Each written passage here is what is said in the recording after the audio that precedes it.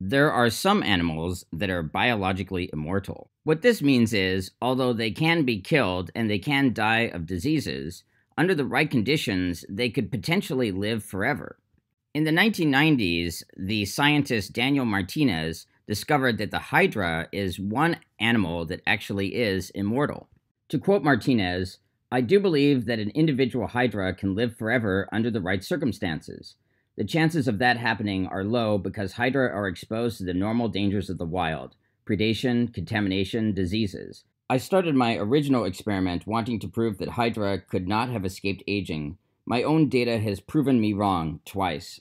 As a general rule, the younger an animal starts to reproduce, the shorter its lifespan. Hydras start to reproduce when they're only two days old through the process of budding. What that means is their offspring grow out from the sides of them and eventually separate from the hydra.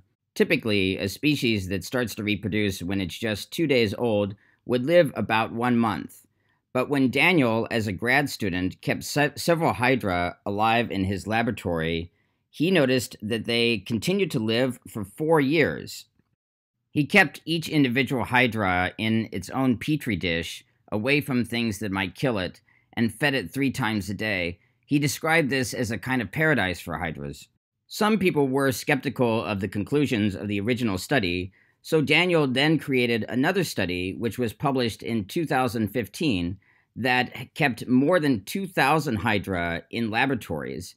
And this study noticed that they lived for eight years, or twice as long as they did in the original study. Eight years is a long enough time that nearly all scientists have accepted the conclusion that hydras are in fact biologically immortal. Another interesting thing is they don't show any signs of aging, and throughout all eight years, their rate of fertility remained the same. Hydras are freshwater animals that are invertebrates, and they usually are about one centimeter in length. They have long, slender bodies and several tentacles near their mouths.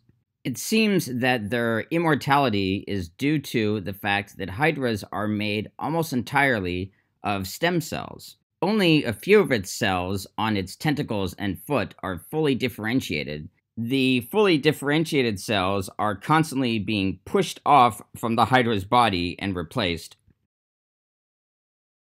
It is conceivable that there are some hydras around today that are 10,000 years old.